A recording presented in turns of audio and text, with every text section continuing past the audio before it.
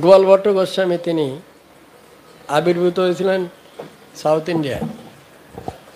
তার শ্রীপট আছে শ্রীরঙ্গমে।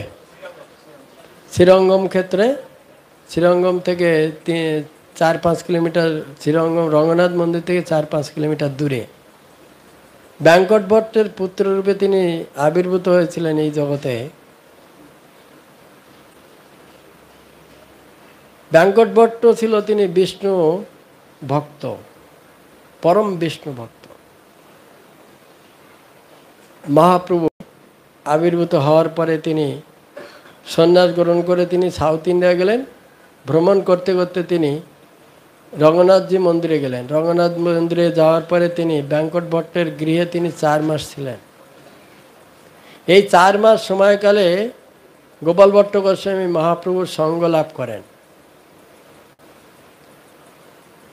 তিনি যেহেতু নিত্য মুক্ত পার্শ্বদ ভগবানের, মহাপ্রভুকে সন্ন্যাস রূপ দেখে তিনি সহ্য করতে পারেননি। ভগবান সন্ন্যাস গ্রহণ করবে, ত্যাগী জীবনযাপন করবে ভগবান, সেটা গোপাল ভট্ট গোস্বামী ভালো লাগেনি। তবুও মহাপ্রভুর ইচ্ছাকে জেনে তিনি, মহাপ্রভুর অনেক সেবা করেছেন ছোটবেলা অনেক সেবা করেছেন। যখন তিনি চলে আসবেন, তিনি মানে কান্না করতে শুরু করেছেন। তিনি প্রথমে ইচ্ছা করেছিলেন যে মহাপ্রভুর সঙ্গে তার মহাপ্রভুর সেবক হিসেবে থাকবেন। মহাপ্রভু তাকে বাধা দিলেন, না, তোমার পিতামাতা আছে, এখন তুমি থাকো। এই মহাপ্রভু তাকে ব্যাঙ্কট ভট্টের সঙ্গে মহাপ্রভুর অনেক শাস্ত্র, কথা, তত্ত্ব, কথা, আলোচনা আছে, অনেক আলোচনা। এখানে তেই, যে আলোচনা আমরা করছি তেইশ নম্বর শ্লোকের তাৎপর্য প্রবোধ বর্ণনা করেছেন এখানে। ব্যাঙ্কট ভট্টের সঙ্গে মহাপ্রভু যে রসের আলোচনা হয়েছে, সেগুলো আলোচনা করা হয়েছে এখানে, দেখলাম। তো ওখানে বর্ণনা করা হয়েছে যে গোপাল ভট্ট গোস্বামী যখন তিনি মহাপ্রভুর এই রূপ দেখে তিনি হতাশ হন এবং মহাপ্রভুর মানে অস্তিত্ব উপলব্ধি করার জন্য চেষ্টা করেন। তো একদিন যখন মহাপ্রভু ছেড়ে আসবেন বলে তিনি অত্যন্ত শোকাতুর হয়ে হচ্ছে অবস্থান করছেন, তখন মহাপ্রভু তাকে তার নবদ্বীপ ধামকে প্রকাশ করলেন তার বাড়িতে, তার সামনে। ব্যাঙ্কট ভট্টের গৃহে নবদ্বীপ ধামকে প্রকাশ করলেন। নবদ্বীপ ধামে শ্রী চৈতন্য মহাপ্রভু তার পাঁচশোৎস পঞ্চতত্ত্ব পাঁচশোৎস গৌর পাঁচশোৎস সংকীর্তনরত অবস্থায় মহাপ্রভু তাকে দর্শন দিলেন ওখানে। প্রকট হলেন ওখানে, ব্যাঙ্কট ভট্টের গৃহে।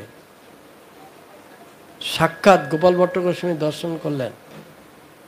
করার পরে মহাপ্রভু তাকে কৃপা করলেন, করার পরে বললেন, তুমি এটা কাউকে বলো না। তারপরে তিনি নিষেধ করলেন, তারপরে তাকে প্রবোধ দিলেন, সান্ত্বনা করলেন। করার পরে মহাপ্রভু চলে আসবেন, তখন তিনি বললেন, তুমি গৃহে পিতামাতার সেবা করো, তারপরে তুমি বৃন্দাবনে চলে আসো। বলার পরে চলে এসেছিলেন গোপাল ভট্ট গোস্বামী। তিনি বহুদিন পিতামাতার সেবা করেছেন, পিতামাতা অন্তর্ধান হওয়ার পরে তিনি ওখান থেকে বৃন্দাবন চলে আসেন। চলে আসার পরে রূপ সনাতনের গাইডেন্সে থেকে তিনি ভজন শুরু করেছিলেন। তারপরে সনাতন গোস্বামী চিঠি পাঠিয়েছিলেন মহাপ্রভুর কাছে যে গোপাল ভট্ট এসছে। মহাপ্রভু এখান থেকে তাকে কিছু বহির্বাস, বস্ত্র আর কি কি দিলেন? প্রসাদ, মহাপ্রসাদ হ্যাঁ? বসার আসন ইত্যাদি ইত্যাদি পাঠালেন। সেটা নিয়ে তিনি ওখানে থেকে ভজন করতেন। ভজন করতে করতে তিনি তীর্থ ধাম দর্শন করতে করতে তিনি গিয়েছিলেন। গণ্ডকী, হরিদ্বার হয়ে সব জায়গায় হয়ে তিনি ফিরছেন। ফিরতে ফিরতে তার সঙ্গে তিনি হরিদ্বার পার করে মায়াপুর নামে একটা গ্রাম আছে ওখানে। হরিদ্বার থেকে আর কিছু আগে। এটা মায়াপুর নামে একটা গ্রাম আছে। ওখানে একটা ব্রাহ্মণের বাড়িতে তিনি অবস্থান করছিলেন এক রাত। যে বাড়িতে ব্রাহ্মণের বাড়িতে অবস্থান করছিলেন রাত্রেবেলা, ব্রাহ্মণের কোনো সন্তান ছিল না। তিনি প্রার্থনা করেছিলেন তার কাছে একটা সন্তান কামনা করেছিলেন। এবং ব্রাহ্মণ বলেছিলেন যে, প্রথম সন্তান হলে আমি আপনার সেবাতে পাঠাবো। গোপাল ভট্ট গোস্বামী তাকে আশীর্বাদ করে এসেছিলেন। আসার পরে তার একটা পুত্র সন্তান হয়।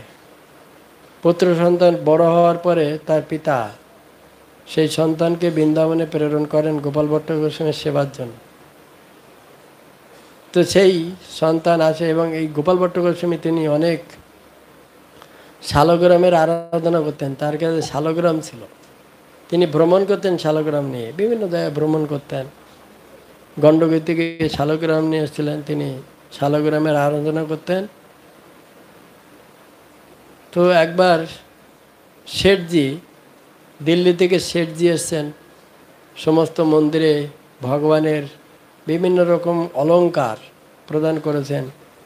রাধা গোবিন্দ দেব, রাধা গোপীনাথ জিউ, রাধা মদন মোহন প্রত্যেককে দিয়েছেন। গোপাল ভট্ট গোস্বামীর কাছে গিয়ে কিছু অলঙ্কার দিয়েছেন। রাত্রেবেলা শালগ্রাম শয়ন দিয়ে তিনি প্রার্থনা করেছেন, হে ভগবান, এই অলঙ্কার আমি কি করব। আপনি তো শালগ্রাম রূপে অবস্থান করছেন, আমি কীভাবে পড়াবো? চিন্তা করতে করতে তিনি ভগবানকে শয়ন দিয়ে একটা ঝুড়ি চাপা দিয়ে শয়ন দিয়েছে, দিয়ে তিনি ঘুমিয়ে গেছে। পরের দিন সকালবেলা উঠে দেখছে ভগবানকে যখন জাগরণ করবেন, গিয়ে দেখছে ঝুড়িটা উঁচু হয়ে গেছে। ঝুড়িটা উঁচু হয়ে গেছে। ঝুড়িটা তুলে দেখছে একটা শালগ্রাম বিগ্রহ হয়ে গেছে। রাধারমন বিগ্রহ। এখন যে রাধারমন বিগ্রহ আছে না, অরিজিনাল বিগ্রহ, শালগ্রাম থেকে প্রকটিত হয়েছেন উনি। শালগ্রাম থেকে বিগ্রহ হয়েছে, রাধারমন বিগ্রহ অত্যন্ত সুন্দর, এইরকম। এতটুকু বেশি বড় না, খুব সুন্দর দেখতে। এত সুন্দর দেখতে রাধারমন বিগ্রহ না, দেখবার মতো। বিগ্রহ রূপে প্রকট হলেন তিনি তার বাসনা অনুসারে সেবা গ্রহণ করার জন্য ভক্তের বাসনা পূর্ণ করেন ভগবান। সর্ব অবস্থাতে তিনি সমর্থবান ব্যক্তি। তাই সেবা গ্রহণ করার জন্য তিনি বিগ্রহ রূপে প্রকট হলেন।